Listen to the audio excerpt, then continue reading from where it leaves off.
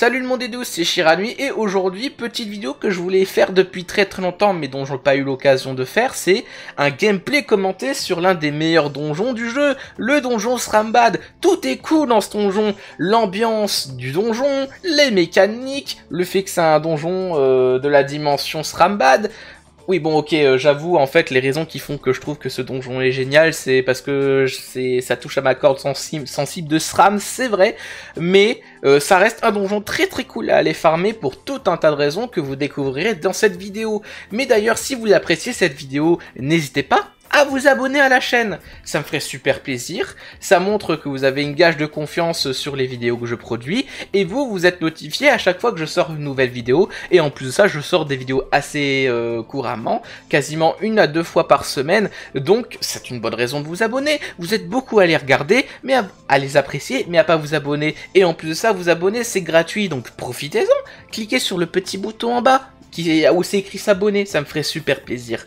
Bref, euh, trêve de blabla, on va commencer par parler du, de la première mécanique, à savoir euh, du donjon Srambad. Déjà, avant toute chose, s'agissant d'un donjon de salle, je voudrais vous parler un peu de la mécanique particulière que vous retrouverez à la première salle et au boss, et qui est assez particulière puisqu'elle vous permettra en effet avantageux de vous permettre d'économiser du pain car après chaque combat, votre vie est soignée au maximum, ce qui en fait un donjon parfait à enchaîner en boucle pour farmer l'XP ou les pierres de vitesse. Cette fameuse mécanique intervient au niveau de vos points de vie. Dans le premier combat de la première salle, tous vos points de vie sont convertis en armure, votre vie max passe à 6 points de vie, et vous serez automatiquement mis à 1 point de vie. On retrouve une mécanique similaire durant la deuxième phase du boss, votre vie passe à 1 point de vie sur 2 maximum. Et oui, ce boss a deux phases. Et c'est pour pallier au retrait de points de vie dû à cette mécanique que le jeu vous gratifie d'un soin complet après chaque combat. Avoir un support qui ne fait que du soin comme l'Eniripsas n'est donc pas forcément le meilleur support à prendre en compte euh, pour ce donjon. Il va falloir plutôt partir sur des personnages capables de mettre du shield.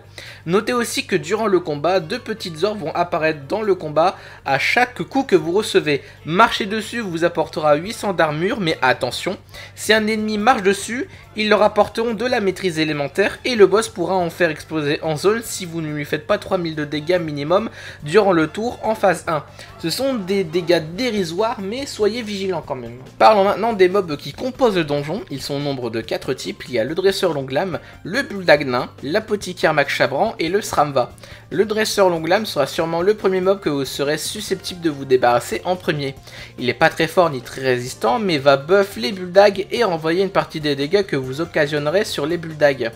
Petite particularité aussi, s'il finit au corps à corps d'un de vos alliés, il sera TP à un endroit proche tout en devenant invisible. C'est pour cela que tant qu'il est visible, ce sera votre cible principale puisque gérer les ennemis invisibles dans le jeu, c'est super chiant. Ensuite, vous pouvez vous attaquer aux autres mobs parmi ceux qui vous tombent sous la main, mais vous serez beaucoup plus susceptible d'attaquer l'apothicaire et le Sramva à la suite. L'apothicaire tape à distance. Sa petite particularité, c'est qu'il est capable de créer un rempart d'os cassable de 5 cases de long qui disparaît quand l'apothicaire meurt. Pas de grosses menaces, mais euh, ces remparts sont un peu contraignants pour avoir la ligne de vue sur vos personnages distance et le Sramva euh, sont un petit peu plus agressifs car elles attaquent qu'en mêlée mais peuvent se TP facilement dans le dos de vos alliés. De plus, il est important de savoir qu'à chaque coup en distance qu'il reçoit, le Sramva fera une lourde attaque feu qui retire aussi des PA à toutes les entités présentes à moins de 2 cases de lui. Il est vraiment pas résistant mais faites attention à votre placement face à ce monstre pour en tirer le meilleur parti de ce passif.